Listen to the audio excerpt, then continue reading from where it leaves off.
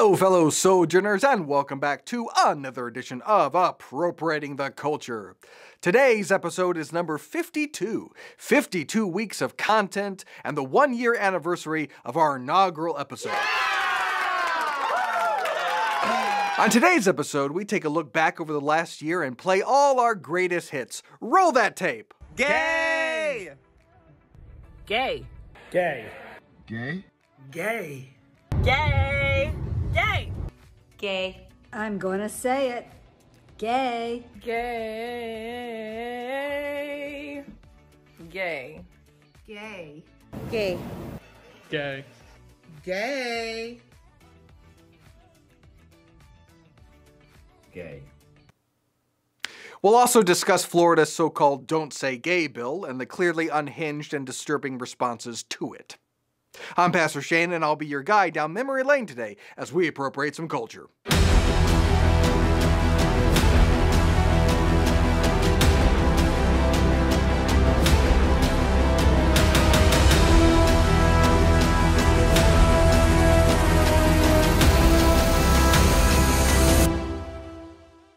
I believe it was the great Mark Hamill who once wrote,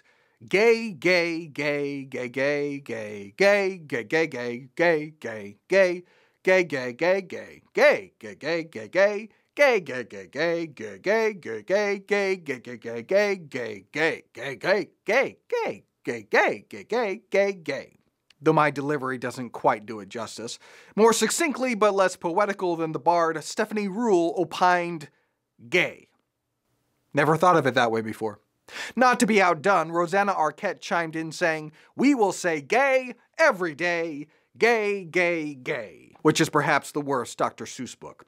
Glennon Doyle echoed the need for quota, saying, Can everybody please commit to saying gay every few minutes, every single day, to offset Florida? Every few minutes? That's a big gay commitment. It's hard to work gay and naturally during staff meetings. Elaine Hendrix tweets, I stand proudly with every single member of the LGBTQAI community. AI? LGBTQ has become sentient.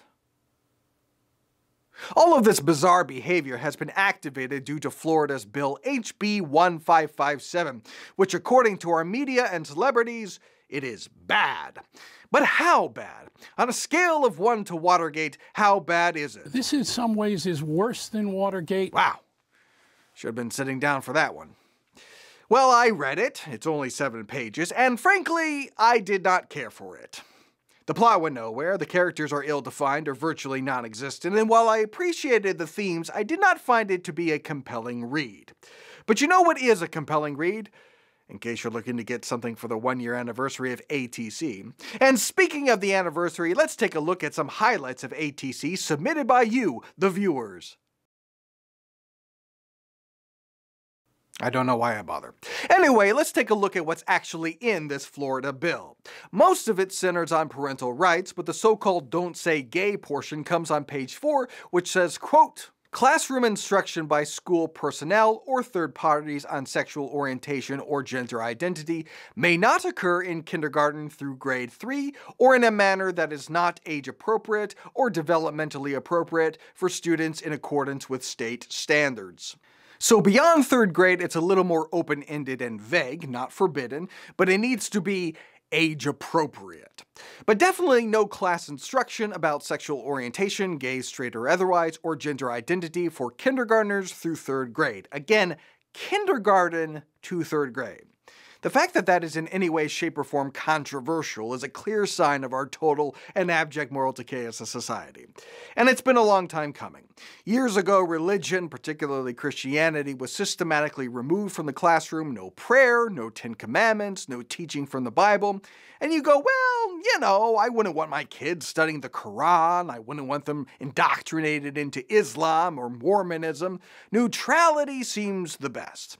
But nature abhors a vacuum. Values are going to be taught. So whether it's religious like this, the kingdom of heaven is like a pride parade. Yes, the kingdom of heaven is like a parade to the sin of pride. Let's see. Uh, the kingdom of heaven is like uh, hidden treasure.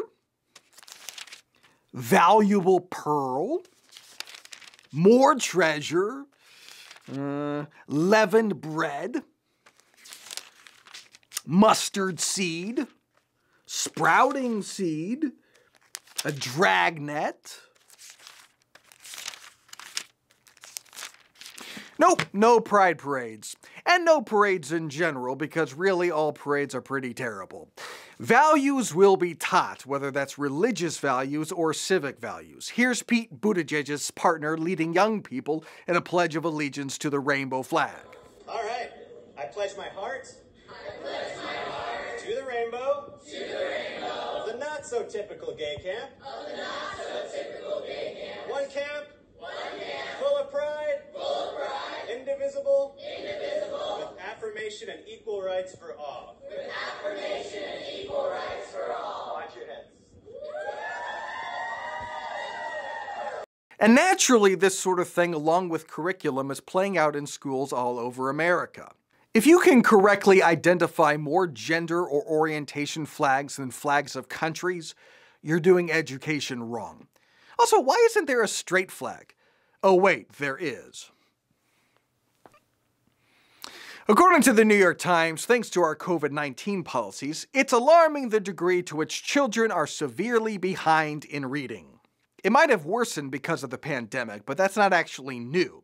According to USA Today, National Assessment of Education Progress showed that only 24% of seniors scored at or above proficient in math in 2019. In reading, 37% of seniors scored at or above proficient in 2019. The exams also survey students about what they're doing inside and outside the classroom. Half of seniors in 2019 said they read literature outside of school at least once or twice a year.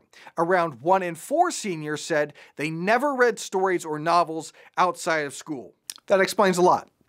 What on earth is going on in our classrooms? Let's take a look.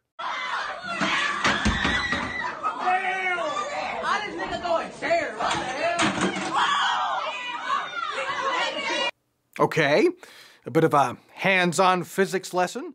A little unorthodox, but darn it if he doesn't get results. What else? Showing up to teach fourth grade the day after the Don't Say Gay bill passes through the Florida House.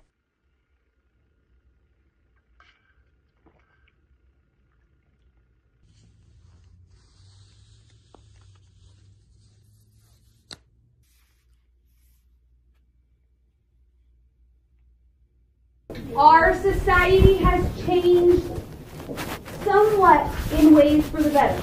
Okay? No longer, for most people, is that line a hard drawn line. Okay? That line gets blurred.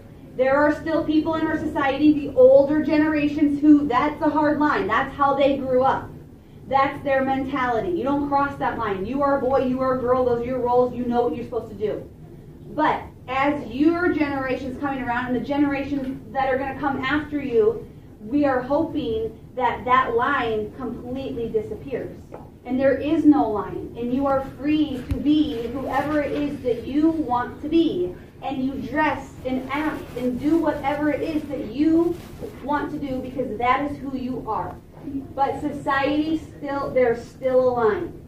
Yes, we can't read, sure, we can't do math, but the important thing is installing in them gender confusion.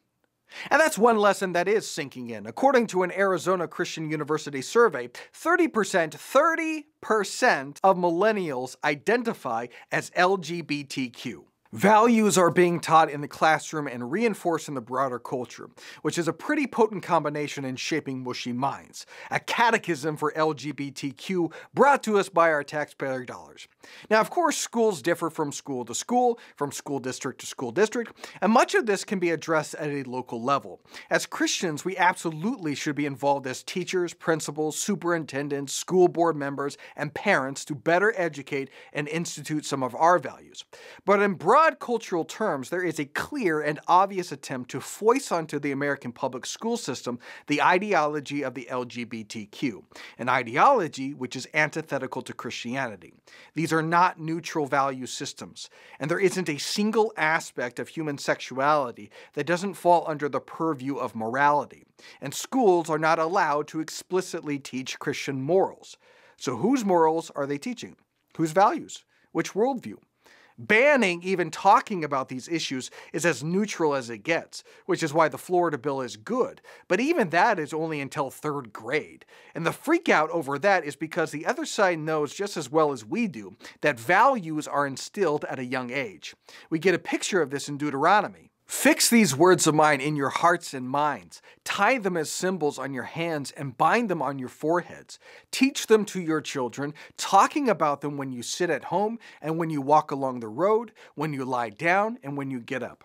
Write them on the door frames of your houses and on your gates, so that your days and the days of your children may be many in the land the Lord swore to give your ancestors, as many as the days that the heavens are above the earth. Your kids are in school for seven hours, being taught, instructed, indoctrinated.